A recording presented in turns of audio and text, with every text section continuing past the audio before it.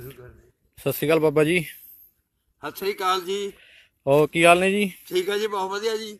ਅੱਛਾ ਬਾਬਾ ਜੀ ਇੱਕ ਗੱਲ ਦੱਸੋ ਤੁਹਾਡੇ ਕੋਲੇ ਜ਼ਮੀਨ ਕਿੰਨੀ ਆ? ਸਾਡੇ ਕੋਲੇ ਜ਼ਮੀਨ ਆਹ ਡੇਢ ਕੁ ਬਿੱਗਾ ਹੈ ਜੀ ਆਹ।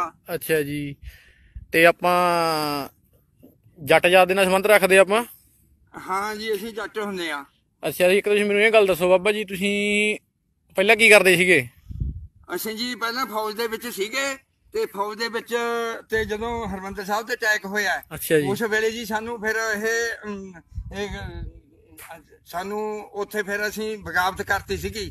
ਬਗਾਵਤ ਕਰਨ ਤੋਂ ਬਾਅਦ ਫਿਰ ਸਾਨੂੰ ਸਜ਼ਾਵਾਂ ਹੋ ਗਈਆਂ। ਅੱਛਾ ਜੀ। ਸਜ਼ਾਵਾਂ ਹੋ ਗਿਆ ਜੀ ਅਸੀਂ ਧਰਮੀ ਫੌਜੀ ਆ ਅੱਛਾ ਜਾਣੀ ਧਰਮੀ ਵੀ ਫੌਜੀ ਸੁਰਜੀਤ ਸਿੰਘ ਜੱਟ ਮੈਨੂੰ ਆਖਦੇ ਨੇ।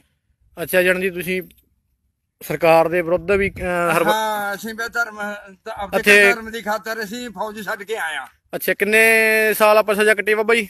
ਅਸੀਂ ਕੱਟਿਆ ਜੀ ਸਾਨੂੰ ਮੈਨੂੰ 10 ਸਾਲ ਹੋਈ ਸੀਗੀ। ਅੱਛਾ ਜੀ। ਹੁਣ ਤੁਹਾਡੀ ਉਮਰ ਕਿੰਨੀ ਆ ਜੀ? ਹੁਣ ਉਮਰ ਸਾਡੀ 72 ਸਾਲ ਦੀ ਹੋ ਗਈ ਜੀ। ਅੱਛਾ ਇੱਕ ਬਾਬਾ ਜੀ ਗੱਲ ਦੱਸੋ ਤੇ ਤੁਹਾਡੇ ਕੋਲ ਕਮਾਈ ਦਾ ਸਾਧਨ ਕੀ ਆ ਹੁਣ? ਇਹ ਕਮਾਈ ਦਾ ਸਾਧਨ ਸਾਡੇ ਕੋਲੇ ਆਹੀ ਆ ਜੀ ਆ ਸਬਜ਼ੀ ਲਾ ਲੈਂਦੇ ਆ ਬਿੱਗਾ ਡੇਢ ਬਿੱਗਾ ਤੋਂ।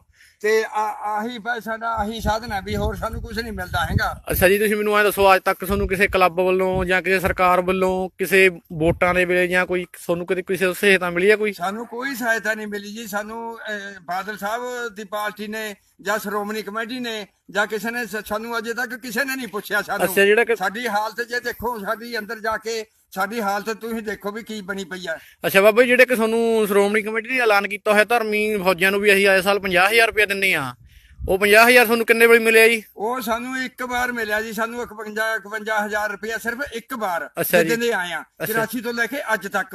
ਨਹੀਂ ਸਾਨੂੰ ਕੋਈ ਬਾਦਲ ਨੇ ਸਹਾਇਤਾ ਨਹੀਂ ਦਿੱਤੀ ਕੋਈ ਸਾਨੂੰ ਸ਼੍ਰੋਮਣੀ ਕਮੇਟੀ ਨੇ ਨਹੀਂ ਦਿੱਤੀ ਅੱਛਾ, ਪਰਿਵਾ- ਜਦਕਿ ਮੇਰੀ ਪੜ੍ਹਦੀ ਆ ਇਹਨਾਂ ਦੇ ਸਕੂਲ 'ਚ ਮੇਰੇ ਮੇਰਾ ਤਾਂ ਉਹਦਾ ਵੀ ਮਾਫ ਨਹੀਂ ਕੀਤਾ ਇਹਨਾਂ ਨੇ ਅੱਛਾ ਬਾਬਾ ਜੀ ਦੱਸੋ ਪਰਿਵਾਰ ਦੇ ਵਿੱਚ ਕਿੰਨੇ ਜਾਣੇ ਤੁਸੀਂ ਅਸੀਂ ਤਿੰਨ ਬੰਦੇ ਆ ਇੱਕ। ਮੇਰੀ ਲੜਕੀ ਆ ਅਸੀਂ ਦੋ ਅਸੀਂ ਅਮੀਆਂ ਬੀਬੀਆਂ ਅੱਛਾ ਜੀ ਤੇ ਲੜਕੀ ਕਿੰਨੇ ਚਿਰ ਦੀ ਹੈ ਆਪਣੀ ਲੜਕੀ ਜੀ ਸਾਡੀ 10ਵੀਂ ਪਾਸ ਆਈਤੀ ਹੋਈ ਹੈ ਠੀਕ ਹੈ ਜੀ 11ਵੀਂ 'ਚ ਹੁਣ ਲੱਗਣਾ ਕਹਾ ਅੱਛਾ ਜੀ।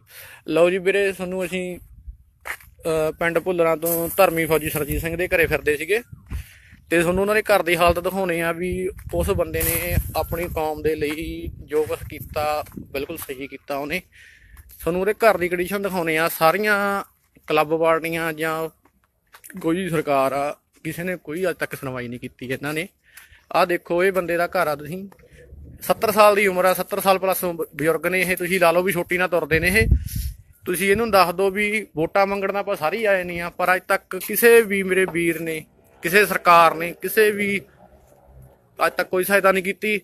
ਆ ਇਹਨਾਂ ਦੇ ਮਾਤਾ ਜੀ, ਇਹਨਾਂ ਦੇ ਘਰੋਂ ਨੇ ਜੀ। ਹੁਣ ਦੱਸੋ, ਇਹ ਵੀ ਕੋਈ ਕੰਮ ਕਰਨ ਦੇ ਯੋਗ ਨਹੀਂ, ਬਜ਼ੁਰਗ ਨੇ, ਆਹ ਦੇਖ ਲਓ, ਬਿਲਕੁਲ ਤੁਸੀਂ ਘਰ ਦੀ ਇੱਧਰ ਆ ਘਰ ਦੀ ਹਾਲਤ ਦੇਖ ਲਓ, ਬਿਲਕੁਲ ਜੀ। ਜਿਹੜਾ ਪਹਿਲਾਂ ਇਹਨਾਂ ਦਾ ਵਿਚਾਰਿਆਂ ਦਾ, ਪਹਿਲਾਂ ਘਰ ਦੇ ਵਿੱਚ ਜਿਹੜਾ ਕੁਝ ਵੀ ਪਹਿਲਾਂ ਬਣਿਆ ਹੋਇਆ ਪੁਰਾਣਾ ਮਕਾਨ ਹੀ ਆ ਕੋਈ ਨਵਾਂ ਨਹੀਂ ਕੀਤਾ। ਔਰ ਲੜਕੀ ਆ ਲੜਕੀ ਪਲੱਸ 1 ਦੇ ਵਿੱਚ ਪੜ੍ਹਦੀ ਆ। ਖਰਚੇ ਤੁਸੀਂ ਆਪ ਹੀ ਦੇਖ ਲਓ ਪੜ੍ਹਾਈਆਂ ਦੇ ਕਿੰਨੇ ਨੇ। ਹੁਣ ਆ ਬਜ਼ੁਰਗ ਨੇ ਦੇਖ ਲਓ ਤੁਰਦੇ ਨੇ ਡਾਂਗ ਦੇ ਨਾਲ। ਹੁਣ ਇਹ ਕੀ ਖੇਤੀ ਕਰਨ ਨਾ ਇਹਨਾਂ ਕੋਲੇ ਜ਼ਮੀਨ ਆ ਵੀ ਜ਼ਮੀਨ ਕੋਈ ਠੇਕੇ ਦੇ ਦੇਣਾ। ਕਿੰਨੀ ਬਾਬੀ ਜ਼ਮੀਨ ਆਪਣੇ ਕੋਲੇ? ਜ਼ਮੀਨ ਸਾਡੇ ਕੋਲ ਆ ਡੇਢ ਵਿਗੇ ਥਾਂ ਦਾ ਅਸੀਂ ਖੇਤੀ ਕਰਦੇ ਆ। ਹਾਂਜੀ। ਉਹ 2 ਵਿਗੇ ਥਾਂ ਹੈ ਸਿਰਫ ਆ ਵਿੱਚ ਘਰ ਹੈ ਆ- ਹਾਂਜੀ ਤੁਸੀਂ ਲਾ ਲਓ ਵੀ ਜਿਹੜੀ ਹੁਣ ਡੇਢ ਵਿੱਗਾ ਗਈ ਇਹਦੇ ਵਿੱਚ ਕੋਈ ਮੋਟਰ ਨਹੀਂ ਹੈਗੀ ਇਹਨਾਂ ਕੋਲੇ ਕੋਈ ਬਾਲੀ ਗੱਲ ਕੀ ਆ? ਗਵਾਂਢੀਆਂ ਤੋਂ ਅਸੀਂ ਪਾਣੀ ਲੈਣਾ ਗਵਾਂਢੀਆਂ ਦੀ ਮੋਟਰ ਤੋਂ। ਗਵਾਂਡੀਆਂ ਦੀ ਮੋਟਰ ਤੋਂ ਪਾਣੀ ਲੈਣੇ ਹੋ। ਬਾਲੀ ਗੱਲ ਕੀ ਕਰਦੇ ਇਹਨਾਂ ਨੇ ਕਿ ਬਿਜਲੀ ਦੀ ਲਾਈਟ ਨਹੀਂ ਹੈਗੀ। ਆਪਾਂ ਕਹਿੰਦੇ ਨਾ ਵੀ ਮੋਦੀ ਸਾਹਿਬ ਕਹਿੰਦੇ ਨੇ ਵੀ ਸਾਡਾ ਮੈਂ ਦੇਸ਼ ਦੇ ਵਿੱਚ ਵੀ- ਵੀ ਬਹੁਤ ਅੱਗੇ ਡਿਜੀਟਲ ਕਰਤਾ ਇੰਡੀਆ। ਆ ਦੇਖੋ ਅੱਜ ਦੇ ਟਾਈਮ ਦੇ ਵਿੱਚ 2019 ਚੱਲਦਾ। 2019 ਦੇ ਵਿੱਚ ਵੀ ਇਹਨਾਂ ਦੇ ਘਰੇ ਲਾਈਟ ਨਹੀਂ ਹੈਗੀ। ਤਿੰਨ ਸਾਲ ਹੋ ਗਏ ਤੁਹਾਡੇ ਮਾੜਾ ਜਿਹਾ ਮੀਟਰ ਕੱਟੇ ਨੂੰ ਜੀ? ਹਾਂ 3 ਸਾਲ ਹੋ ਗਏ ਸਾਡੇ ਮੀਟਰ ਕੱਟੇ ਨੂੰ। ਹਾਂਜੀ ਅਹ, ਕੋਈ ਆਮਦਨ ਦਾ ਸਾਧਨ ਨਾ ਹੋਣ ਕਰਕੇ ਇਹਨਾਂ ਤੋਂ ਬਿਜਲੀ ਦਾ ਬਿੱਲ ਭਰਿਆ ਨਹੀਂ ਗਿਆ ਜੀ। ਤਿੰਨ ਦੇ ਤਿੰਨ ਸਾਲ ਦੇ ਲਗਭਗ ਹੋ ਗਏ ਇਹਨਾਂ ਦੇ ਜੀ। ਮੀਟਰ ਕੱਟੇ ਨੂੰ। ਤੁਸੀਂ ਆਹ ਦੇਖ ਲਓ ਇਹਨਾਂ ਦੇ ਘਰ ਦੀ ਕੰਡੀਸ਼ਨ ਕੀ ਆ ਜੀ। ਰਸੋਈ ਸਾਡੀ। ਆਹ ਦੇਖ ਲਓ ਜੀ। ਆਹ ਸਾਰਾ ਘਰ ਆ ਤੇ ਅੰਦਰ ਦੇਖ ਲਓ ਅੰਦਰ ਤੁਹਾਨੂੰ ਦਿਖਾਉਣੇ ਇਹਨਾਂ ਦਾ ਘਰ ਅਸੀਂ।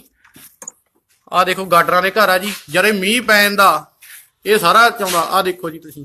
ਤੁਹਾਨੂੰ ਘਰ ਦੇ ਵਿੱਚ ਮੋਗਰੇ ਦਿੰਦੇ ਨੇ ਜਿੱਥੋਂ ਦੀ ਚਾਉਂਦਾਗਾ ਆਹ ਦੇਖ ਲਓ ਜੀ ਘਰ ਦੇ ਵਿੱਚ ਇਹਨਾਂ ਕੋਲੇ ਵੀ ਕੀ ਕੁਛ ਆ?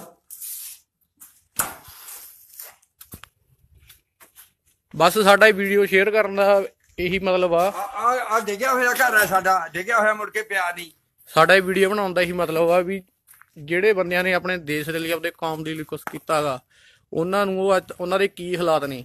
ਵੀ ਅੱਗੇ ਤੋਂ ਕੋਈ ਬੰਦਾ ਇਹ ਨਹੀਂ ਸੋਚੂਗਾ ਵੀ ਮੈਂ ਆਪਣੇ ਦੇਸ਼ ਦੇ ਲਈ ਆਪਦੀ ਕੌਮ ਦੇ ਲਈ ਕੁਝ ਕਰਾਂ। ਜਿਹੜਾ ਕੋਈ ਅਰਜਨ ਦੀ ਆਪਣੇ ਦੇਸ਼ ਦੀ ਕੌਮ ਦੇ ਲਈ ਕਰਦਾ ਜਣ ਦੀ ਇਹ ਸਿੱਧ ਹੋ ਗਿਆ ਵੀ ਉਹ ਭੁੱਖਾ ਹੀ ਮਰਦਾਗਾ। ਵਾਹਿਗੁਰੂ ਜੀ ਕਾ ਖਾਲਸਾ ਵਾਹਿਗੁਰੂ ਜੀ ਕੀ ਫਤਿਹ।